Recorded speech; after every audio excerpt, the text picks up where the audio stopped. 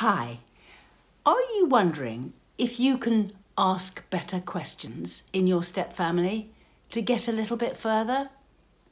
There is some things you can do.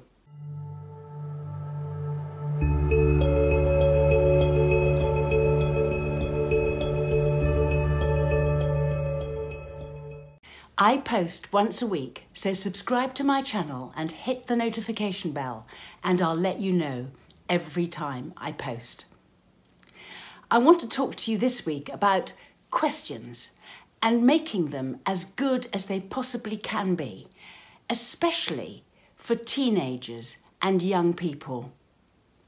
It can be especially useful in a step family. Let me explain.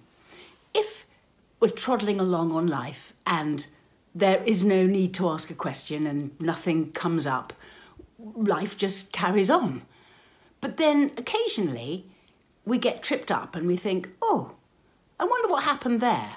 Or I wonder if my stepson or daughter did this or borrowed that or used this or spent their money this way or and you think to yourself, I must ask them about that. And then the next time you see them, you say, Oh, did you spend that money on X? And immediately that question has come from somewhere in your in you. It's it's it's predetermined by your thoughts. And it's not a clean question or a question without strings. So a lot of the time questions come from a place where we are checking out something that's an assumption we've make, made or or, or a situation we're wanting to know the answer to, a suspicion or a, a fear or um, a worry about something. And so our questions come from there.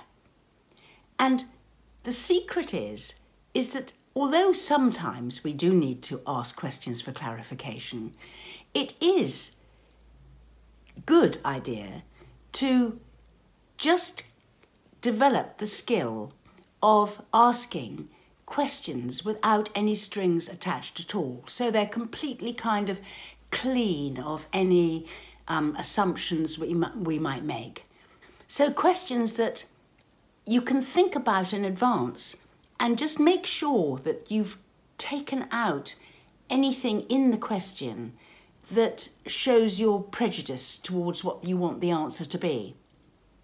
The thing is, you do get a lot further and you build more trust by making sure that the questions you ask aren't littered with prejudices of your own.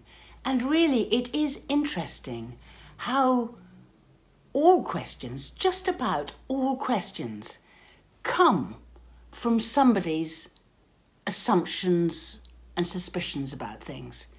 You do an experiment this week. Every time somebody asks you a question, think to yourself, do I know what they're thinking before they've asked it? How do I know their motivation for asking it? And nine times out of ten, you will. Then Look at the questions that you ask of everybody, not just in the step family situation. But our questions come from within us. So, and that's a negative because we bring with us all our prejudices.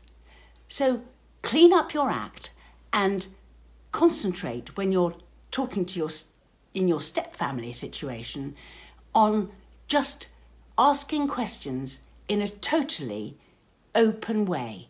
So the answer isn't predetermined and you're genuinely asking the question.